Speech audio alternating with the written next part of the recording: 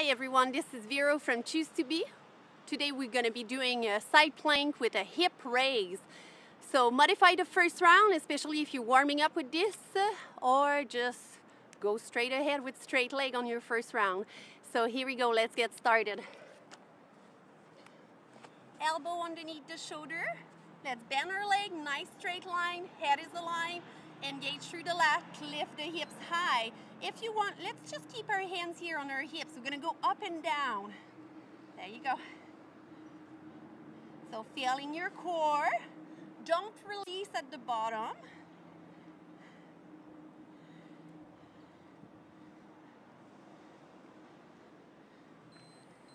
Little break, switching side. Again, I like spreading my finger wide, putting my full hand on the ground. Some action is happening behind, it's all good.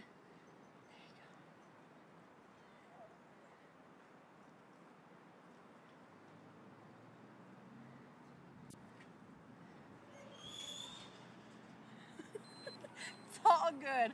It's all good. Okay, straight leg. Okay, here we go. Up and down. So if this is too much for you, go back with the straight leg, sorry, the bent leg variation. Keep your head aligned.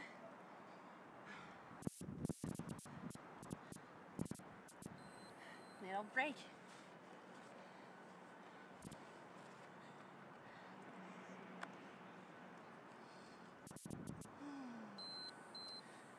One thing that I see lots of people having difficulty with side plank is upper body strength. A lot of people have lots of pain in their shoulder and neck.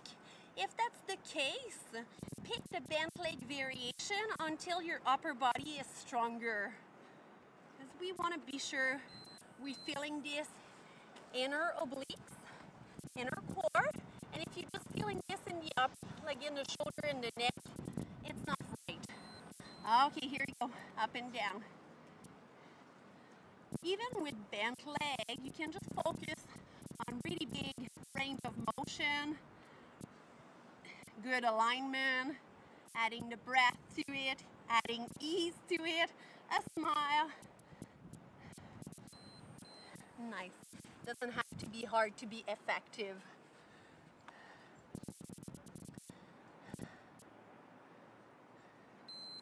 Here we go, started.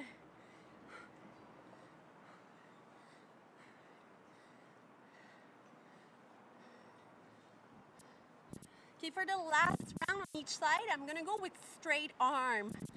Um, if you have any injury in your shoulder, might not be good for you, but that can also be done with bent leg, like this.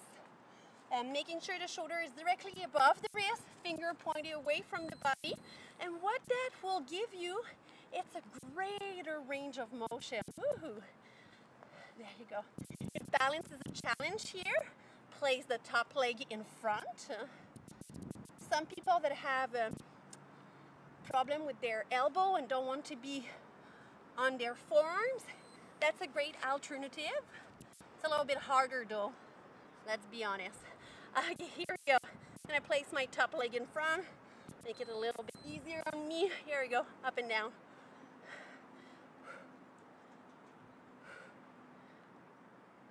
Nice big range of motion. Again, even here, I'm keeping my belly in, rib cage in, nice core engagement. Nice. That was it. One more time, you did it. So see you soon. Hope you enjoy.